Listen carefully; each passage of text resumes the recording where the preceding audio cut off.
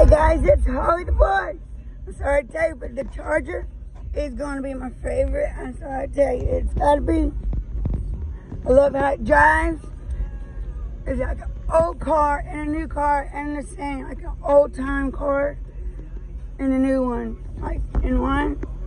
I mean, it's a wide body, so like you get that the old, you know, type car feeling. I mean, even when you go to stop, I mean, it's like a beast trying to slow down. I mean, I love it. And it sounds angry when it takes off. And it's cool. I love it. So, this stuff right here is what we're going to be putting on. Remember the knob I was telling you about? This will be covered up. This little thing will be covered up.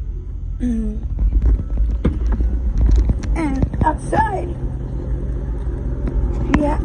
got things to do here. And then to black out this back here is that panel.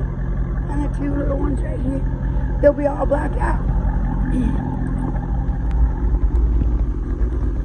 So here's the before shots.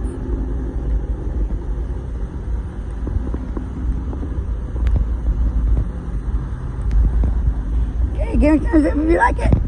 Have a blessed day.